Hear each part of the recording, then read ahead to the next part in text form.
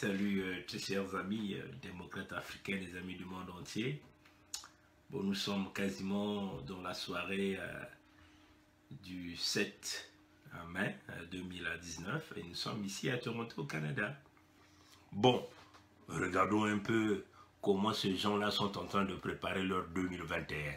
Nous allons écouter Pierre Ngolo, qui est le président entre guillemets, du Sénat de Sassou et aussi le secrétaire général du Parti Congolais du Travail. Nous allons donc écouter ce que Pierre Ngolo va nous dire et nous allons donner notre point de vue. Voilà. Donc, euh, on va encore donner. on va écouter. Allez. Nombreux parmi vous ont déjà vu cette vidéo-là. On va essayer de jouer. Comment aller en 2021 sans courir le risque de perdre l'initiative? Nous ne pouvons pas nous donner le loisir de perdre l'initiative en 2021. Bon, vous, vous, vous, entendez là? Parce que euh, euh, Pierre vous dit comment aller en 2021 sans perdre l'initiative? Bon, l'initiative c'est le pouvoir. Et ils appellent le pouvoir l'initiative. Pourquoi ils ont appelé le pouvoir l'initiative? L'initiative du coup d'État de 1997, l'initiative de la pérennisation du pouvoir dans le clan dans le parti. Hein? C'est ça le plan. Pour vous, Congolais qui ne comprenez pas, c'est ça le plan. C'est une initiative qu'on a mis en place et qu'on continue de mener le plan d'exécution. Voilà pourquoi Ngolo vous dit, on ne peut pas se prendre le plaisir de perdre l'initiative en 2021, donc de perdre le pouvoir. Donc vous comprenez que jusqu'à quel point ces gens-là sont prêts à aller. Comprenez ça Jusqu'à quel, quel point ces gens-là sont prêts à aller? Ils sont prêts à massacrer du monde pour conserver l'initiative, c'est-à-dire le pouvoir. Ça, ça sort d'Ungolo. Hein? Ça sort pas de moi. On va encore l'écouter. Vous, vous allez entendre. Pour nombre ici, nous savons ce que c'est que la perte de pouvoir. Quand on l'a perdu, on sait comment on a vécu. Bon, voilà. Euh, il dit pour nombre ici, vous connaissez la perte de pouvoir quand on l'a perdu. Vous comprenez euh, comment on a vécu. Donc vous comprenez que c'est des gens qui n'ont pas de valeur démocratique dans leur tête. Jamais du tout. Vous voulez aller à une élection, mais ils vont toujours frauder pour conserver le, pouvoir. Ils vont toujours corrompre du monde pour conserver le pouvoir. Ils vont toujours assassiner des Congolais pour conserver le, pouvoir. Ils vont toujours piller l'argent du Congo pour conserver le pouvoir. Parce qu'ils l'ont déjà perdu en 1992. Et il a dit, vous, vous tous vous connaissez ici, quand on a la période, comment nous avons vécu. Donc pour eux, il n'y a pas de notion démocratique là. Il n'y a pas de notion, ils sont clairs là. Donc au peuple du Congo, et vous qui nous parlez de 2021 là, vous comprenez déjà dans quelle forme ces gens-là sont déjà en train de mijoter. Maintenant, ce que nous avons toujours euh, l'habitude euh, de vous dire, je vais simplement aller vous prendre encore euh, une autre vidéo.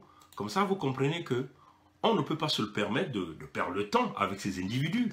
Parce que ces individus-là, la démocratie ne sonne pas dans leur tête. Hein. C'est ça qui est la, vérité. La démocratie ne sonne pas dans leur tête.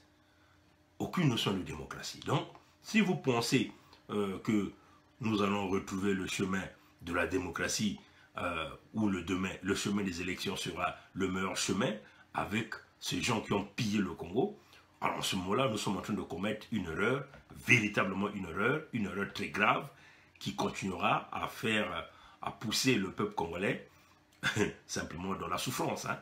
Euh, pendant qu'on parle, je suis en train de simplement de, euh, de chercher encore une autre vidéo. Donc vous comprenez, Ngolo vous a dit, euh, Pierre Ngolo très clair, qu'on ne peut pas se permettre de perdre l'initiative, euh, l'initiative, c'est simplement le pouvoir. On l'a perdu, nous, nous savons comment nous avons vécu. Euh, il n'y a pas de notion euh, de, démocratie chez eux. c'est éventuellement ce que Pierre Ngolo vous dit. Et là, nous allons vous faire jouer l'autre côté, hein, l'autre côté de ce régime. tous, ils sont en train de parler d'une seule voix. Là, maintenant, du côté de l'opposition, choisie par Sassou Denis, je vais simplement essayer de, euh, et puis je vais euh, essayer euh, d'augmenter le son par là. Je vais simplement essayer d'abord d'arrêter. Voilà. Voilà. Voilà. Et je vais rapidement, rapidement, je vais, voilà, je vais essayer d'augmenter le son. Comme ça, vous allez écouter de l'autre côté, le Satima là comment lui, il est en train de vous dire euh, comment il est en train de Il n'y a pas eu la moindre contestation. Bon, nous allons essayer de regarder à partir de là. Euh, on tourne la caméra. Euh, je vais d'abord le faire jouer. De ces assises, l'opposition qui a d'ores et déjà dévoilé sa feuille de route. Reportage en tant correspondant. Débat Pension. La feuille de route que l'opposition politique congolaise a présentée ce mercredi 24 avril 2019 est axée sur quatre priorités. La première, la gouvernance électorale, avec entre autres la réécriture de la loi électorale et le renouvellement de la Commission nationale électorale indépendante, devrait permettre d'offrir au peuple congolais un processus électoral débarrassé des dysfonctionnements depuis 2002. Si on règle le problème de la gouvernance électorale, la manière d'organiser les élections, je vous assure, nous aurons fait éviter à notre peuple tant de drames et tant de querelles inutiles. Les meilleures élections qu'on ait pu organiser, c'est 92. On a voté des députés, on a voté des conseillers, des sénateurs, on a voté le président de la République. Il n'y a pas eu la moindre contestation. Par ailleurs, l'opposition entend développer sa communication interne afin de renforcer sa visibilité. La crise du pool et la crise socio-économique et financière sont encore trop préoccupantes. Toutes les forces politiques de la nation proposent depuis plusieurs mois le dialogue comme solution. Mais pour l'opposition politique congolaise, ce dialogue doit être différent des précédents. Il ne s'agit pas de venir imposer. Il s'agit de débattre avec l'opposition. Parce que le dialogue, en réalité, là où le dialogue existe, bah, nous, on l'a biaisé. Nous, le dialogue, c'est avec 1000, avec 3000. Mais c'est deux. C'est-à-dire qu'ils ont deux points de vue opposés. Mais aujourd'hui, c'est nous. L'opposition dans, disons, dans, dans, dans, toute sa structure aujourd'hui.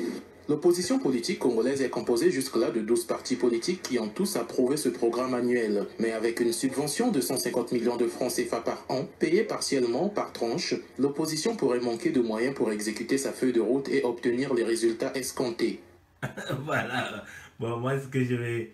Euh, démocrate africain, je vais vous montrer une image euh, d'un homme que moi, je voulais que vous puissiez regarder. Euh, je vais simplement essayer de repartir. Euh, si on règle le problème de la gouvernance électorale, vous allez la manière d'organiser les élections, je vous assure, nous aurons fait éviter à notre peuple tant de drames et tant de querelles inutiles. Les meilleures élections qu'on ait pu organiser, c'est 92. On a voté des députés, on a voté des conseillers, des sénateurs, on a voté une section. de la République. Il n'y a pas eu la moindre contestation. Bienvenue sur Africa 24. Bon, Position dévoile sa feuille de route 2019 euh, voilà. parmi les axes prioritaires. Je, la je cherche simplement du fichier électoral dès cette année par la Bon, voilà. Ah, merde, j'ai manqué la session. Bon, je vais vous montrer un individu qui est dans cette vidéo-là. du fichier électoral dès cette année par la voie... Ah, mais je manque toujours la section. Voilà. Je vais simplement essayer de diminuer le son pour vous montrer euh, la section que moi je souhaite. Et puis, euh, j'espère qu'on va... Voilà. On l'a eu ou non? Oh, mais qu'est-ce qui se passe? Voilà. Je tourne la caméra et je vous montre je parlais. Vous regardez là? Qui vous avez là? Un autre opposant qu'on appelle Pascal euh, Guy là. Il est derrière qui? Derrière cette Biala. Donc, le dialogue que ça se organiser, comme Satima Biala l'a dit, il faut un groupe, il faut deux. Euh, une autre partie euh, qui a des idées opposées. Donc, la partie qui a des idées opposées, selon là c'est eux. C'est eux. Euh, que ça soit donner un budget de 150, 000, 150 millions de francs CFA pour, pour bien vivre. Voilà pourquoi Guy Parfait là est derrière parce qu'ils ont leur magot entre leurs mains. Bon, Ngolo vous a dit il ne peut pas se permettre de perdre l'initiative en 2021. Vous connaissez compte, nous avons perdu l'initiative, comment nous avons vécu. L'initiative, c'est le pouvoir. Et Satima là vous dit, Nous voulons les, une véritable condition d'organisation des élections. ils sont en train de mettre euh, la poudre de perlimpépin dans les yeux de qui? Du peuple congolais? Euh, ces jeunes bidons qui tournent en rond, euh, qui comptent sur l'argent du PCT, l'argent du Congo, et derrière les hommes politiques. On vous ment. Cette là vous parle de la ligue électorale, du découpage électoral, pour bien organiser les élections. Et il vous parle du dialogue. Mais Ngolo vous dit, on ne peut pas se permettre de perdre l'initiative, de perdre le pouvoir. Quand nous l'avons perdu, vous connaissez ce que nous avons vécu. Hein?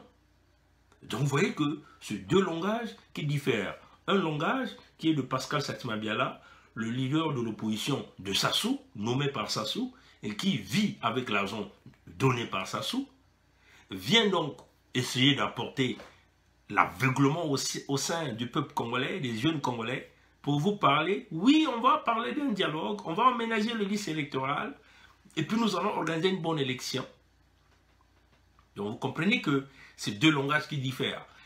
C'est deux langages qui diffèrent. Bon, il faut simplement être un aveuglé pour, euh, pour comprendre, euh, pour en réalité suivre ce que ces gens-là sont en train de vous dire.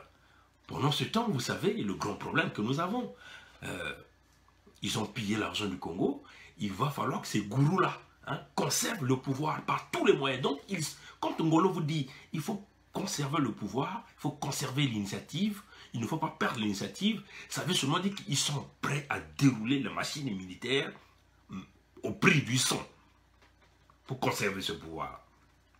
C'est ça la réalité. Excusez-moi. C'est ça qui est la vérité en réalité. Hein? Conserver l'initiative au prix du sang. Bon. Excusez-moi. bon, comme nous savons, ils ont pillé l'argent du Congo. Ils vont chercher par tous les moyens de continuer à garder tout cet argent qu'ils ont volé, de continuer à voyager librement partout à travers le monde entier avec cet argent-là. Et il doit forcément conserver le pouvoir. Et si nous, le peuple congolais intelligent, la diaspora congolaise intelligente, rentre dans ce piège de dialogue de, à la sauce Sassou, et vous allez donc simplement euh, continuer à embellir l'initiative de Sassou, la conservation du pouvoir de Sassou. Donc vous comprenez que il nous faut forcément une force, une véritable force, un rapport de force. Or, un rapport de force, c'est ce que nous appelons l'équilibre de force militaire, mais l'équilibre de force militaire doit se faire avec l'arrivée de plus de 40 000 casques bleus. Si vous avez au moins 40 000 casques bleus au Congo, c'est là où vous allez parler, entre guillemets, d'une élection présidentielle euh, ou une condition d'inquiétude au sein des populations. Si vous n'avez pas les Nations Unies, mais comment vous allez avoir ça hein? Ils vont encore vous, vous baïonner.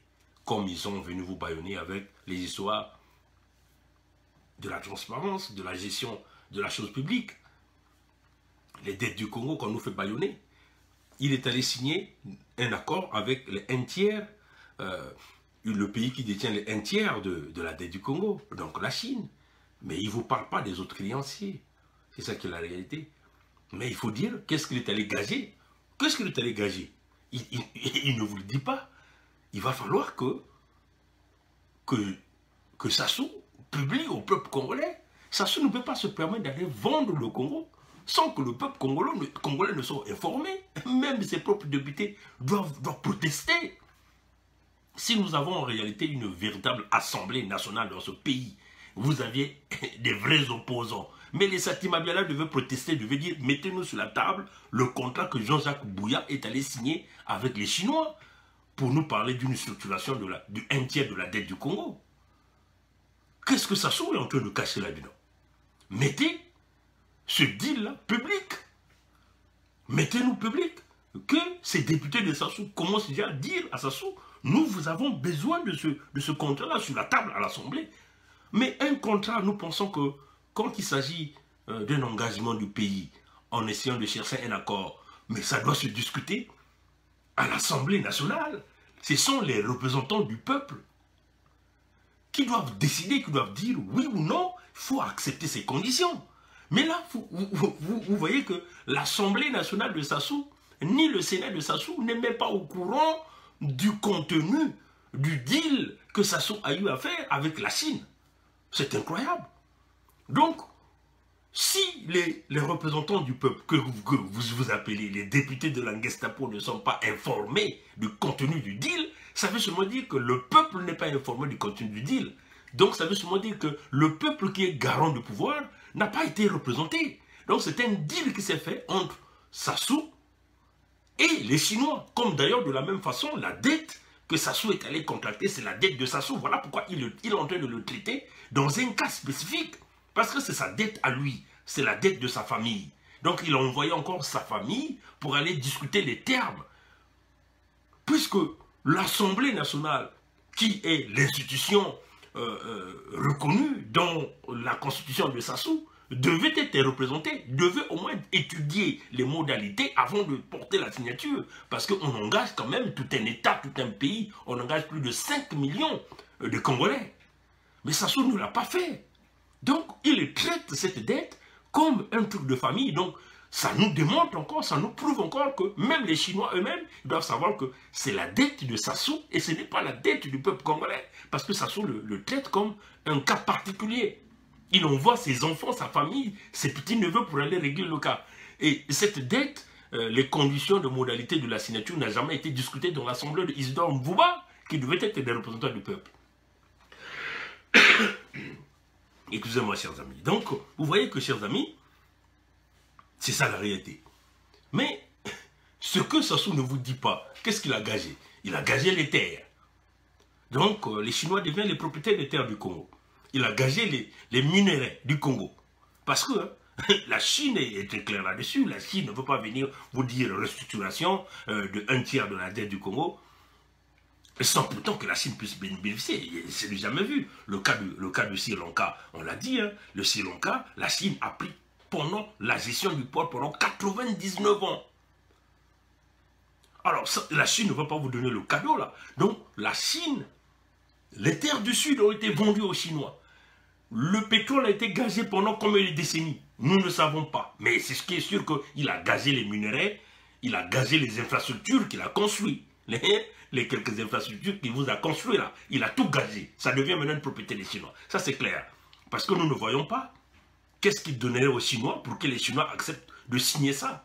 Et donc, il est allé signer, lui seul avec sa famille, il n'a pas inclus le débat dans la signature de ce deal à l'Assemblée, parce que c'est quand même, c'est un problème qui, qui, qui concerne la nation, le pays. Donc les représentants du peuple devaient être là. Les représentants du peuple devaient voir les modalités, la commission juridique, la commission finance, les Kalakayandouenga, comme on dit, devaient étudier pour dire non, là on n'accepte pas. Mais là, Sassou a pris la décision seul. Il envoie sa famille, son neveu Bouya et Galix Ganongo, qui sont tous ses parents, pour aller engager le Congo. Donc il gage les infrastructures, il gage le minerai. Donc éventuellement, parmi les minerais, il faut voir l'or, le diamant, le fer, et on va aussi gager la potasse, la manganèse.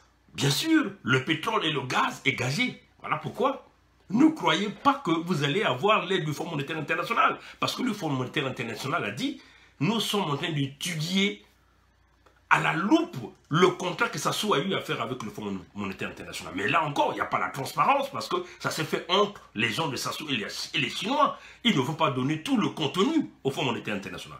Donc, vous qui êtes au Congo, les militaires de l'Anguessapo, là, bête que vous êtes, ça se vous enroule dans la farine. Il vous apporte l'espoir parce qu'il sait qu'il est dans le désespoir. Les Américains, nous doutons fort que les Américains vont donner leur argent à Sassou. Nous doutons très fort. Oui. Donc, euh, c'est quand même curieux que il va signer un deal, mais son assemblée, qui sont les représentants, euh, qui est constituée des représentants du peuple, ne sont pas au courant. Donc, les représentants du peuple ne sont pas au courant du deal. Qu'est-ce qui a été dit? Qu'est-ce qui a été concédé? Qu'est-ce que ça soit donné pour que les Chinois puissent accepter de, signer? Parce que ça ne s'est pas fait gratuitement. Il a gagé, c'est sûr, toutes les terres du Sud. Il a vendu une grande partie des terres vers l'autre partie qui n'est pas dans sa région. Il a vendu les minerais. Il a tout vendu. Il a gagé peut-être à plus de 100 ans ou 200 ans. Personne ne sait. Un seul Sassou. Voilà pourquoi nous exigeons qu'est-ce que le despote est en train de cacher au peuple congolais? Mettez le deal public. C'est ce que nous disons. Mettez ce deal-là public. Et que Isidore Mvouba, qui nous demande que, encore, ce sont des gens intelligents, qui le demandent à son assemblée, que quand même que tu allais signer sans nous, sans le peuple congolais, mais tu as quand même parlé du nom du peuple, emmenez-nous ce deal-là, nous allons voir ce qu'il y a dedans. C'est ça en réalité. Parce que une nation ne peut pas s'engager, un individu et sa famille ne peuvent pas s'engager d'aller prendre un deal qui consiste à gager le pays pendant plusieurs décennies, sans pourtant que le peuple soit représenté. C'est incroyable. C'est incroyable. Il va falloir que le peuple congolais se réveille. Se réveille. Que les jeunes congolais se réveillent. Pas ces jeunes-là qui sont en train d'applaudir euh, Sassou comme déjà digne au comité Talisson, qui applaudissait, mais qui a été, qu'on a joué un coup d'État au sein de son propre parti par Sassou et Denis Christel. Oui, chers amis. Donc on le dit au peuple congolais que ces gens-là nous mettent ce deal-là public. Et le peuple congolais ne pensait pas que, euh, parce que Sassou est allé gazer le Congo avec la Chine, euh, que du ipso facto, il va avoir le contrat avec le Fonds monétaire international. Parce qu'il faut dire que les Chinois ne détiennent que le 1 tiers de la dette. Donc déjà le 1 tiers là, il a gagé les infrastructures qu'il a construites là. Il a tout gagé déjà, ça appartient aux Chinois. La route, tout, tout ça appartient aux Chinois pendant plus de 100 ans. Mais pendant plus de 100 ans là, Sassou ne sera plus là. Sassou ne sera plus là. Peut-être nous aussi nous ne serons plus là. Mais ça veut seulement dire que c'est des générations futures qu'il a gagées avec les Chinois. Donc le Congo va devenir une propriété totalement des Chinois. Ils doivent amener les populations comme ils veulent. Ils peuvent faire tout ce qu'ils veulent. Ça leur appartient. Parce que c'est ce qu'il est allé signer. Ils s'en foutent, les, gens d'Akbouya. Il va falloir que militaire congolais de l'Anguessapo, Sassou t'a gagé toi. Sassou a gagé tes enfants.